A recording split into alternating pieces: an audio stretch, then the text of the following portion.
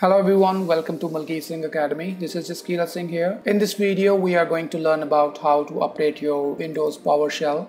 So let's get started. So first of all, open up your PowerShell in administrator mode. So run as administrator and click on yes. And uh, so let me run this command here, get host select object version.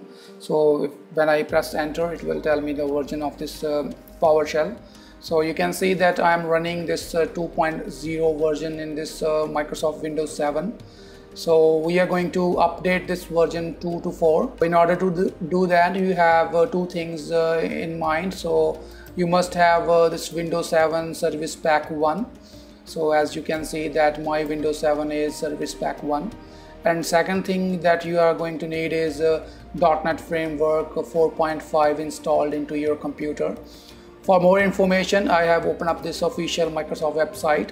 So here this uh, Windows Management Framework 4.0 portability metrics.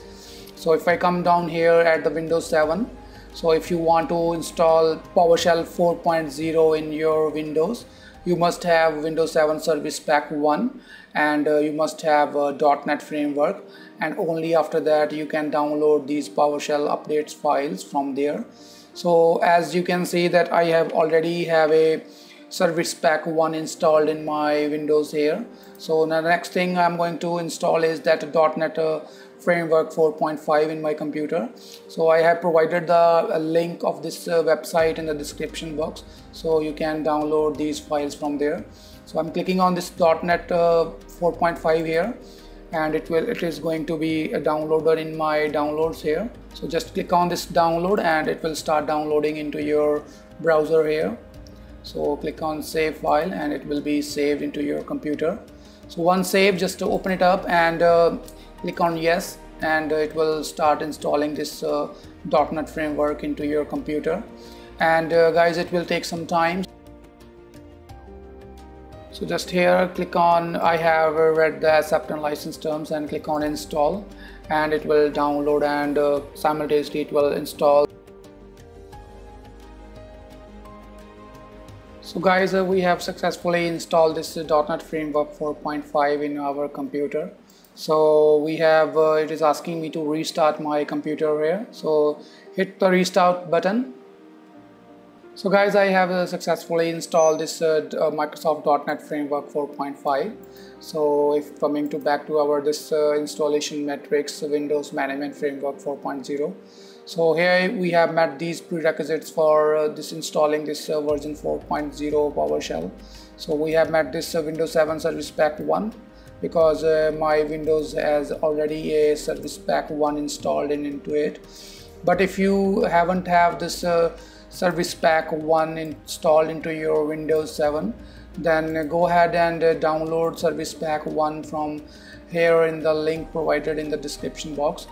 And uh, next thing once we have downloaded both the files .NET Framework 4.5 and Windows 7 Service Pack 1 and now go ahead and download this Windows 6.1 KB 2819745 so this is the update, updated file for PowerShell 4 so just click on this 86 if you are running a 32-bit uh, operating system.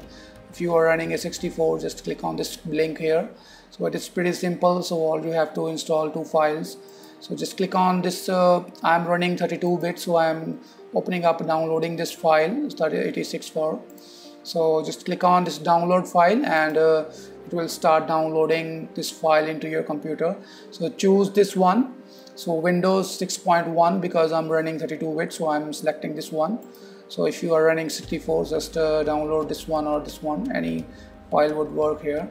So just uh, click on next and uh, it will start downloading this file into your computer. So open I'm going to save this file here first. So click OK and it is going to download this file. And uh, so once this file is downloaded on your computer so double click on it to open it up.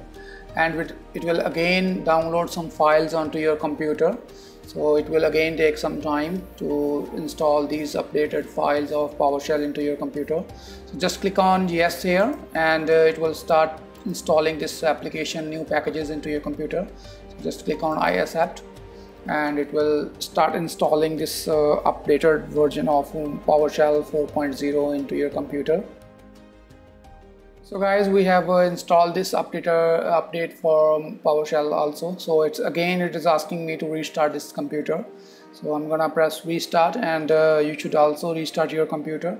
So guys we have uh, downloaded all the files here for first prerequisites for Windows 7 Service Pack 1 so my computer already has Service Pack 1 and we have next we have installed .NET Framework 4.5 and then we have installed this uh, Windows 6.1 so this is a uh, Microsoft framework installation. So we have also did that.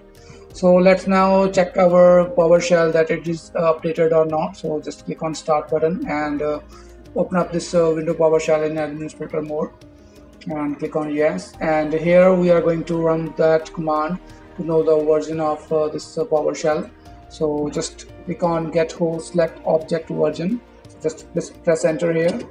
So here you can see uh, we have updated our version from 2 to 4 so this is how you can uh, upgrade your PowerShell because uh, you can't uh, uh, run some commands in uh, version 2 so if you in order to run some run some script commands or something like that install Azure or any other command so you have to must have this PowerShell in 4 version. So that is all how to install and upgrade your uh, Microsoft PowerShell.